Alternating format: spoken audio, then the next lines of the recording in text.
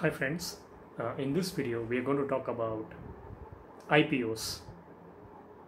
Should we buy IPOs and why IPOs are always overpriced? So IPOs are nothing but uh, initial public offerings. So for instance, uh, if you or company is private and you are in requirement for additional funds, uh, you would wanted to expand for which you require capital. Due to this, you again come to the stock markets, adding multiple uh, stockholders where they can uh, purchase ownership in your company uh, in return for the capitals capital that they have infused. So now what happens is, uh, in the last few months again, we have got multiple IPOs uh, like Burger King and also few other companies which have uh, started trading in the Bombay Stock Exchange and national stock exchanges. So usually what happens is uh, whenever an IPO gets launched, it actually comes with a lot of uh, hope and hype.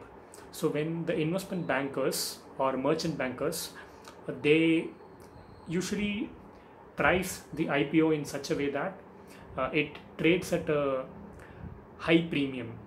So now what happens is when we pay a big price for any new IPO stock, so what happens is our upside becomes risky because almost all the positive news gets factored in uh, inside the price of the stock. So people also call there is a gray market premium before even an IPO gets launched.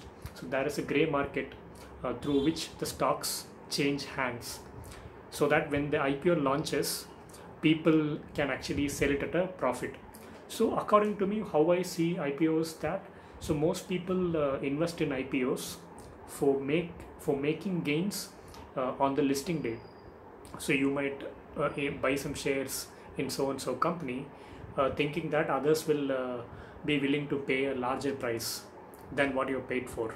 So this is what they call uh, greater fools theory. So what greater fool theory says is there is always a buyer who is willing to pay more price than what you paid for. Right? We have seen this almost in every market cycle. In 2001, uh, there were IPOs related to IT companies. In 2006-7, so there were many IPOs related to power, infrastructure, and so on and so forth.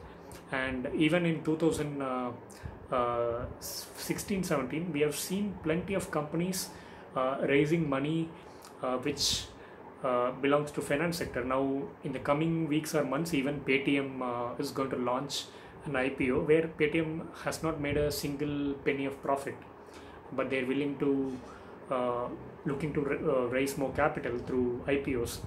So I remember a chapter in uh, The Intelligent Investor written by the famous value investor Ben Graham. So what he says is IPOs are nothing but imaginary profits only.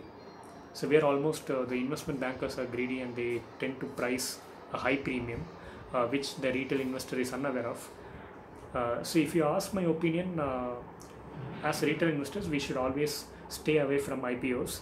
And there are again uh, like 5,000 to 6,000 other stocks that trade in the market anytime, and uh, there is no one road that leads to Rome.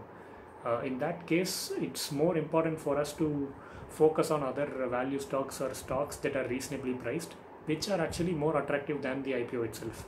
So I hope uh, you remember this and uh, don't get swayed away by what your broker says or what you receive through WhatsApp tips. So I hope you enjoyed uh, watching this video.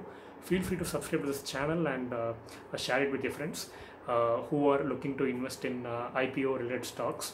And we will again discuss more topics in the coming videos.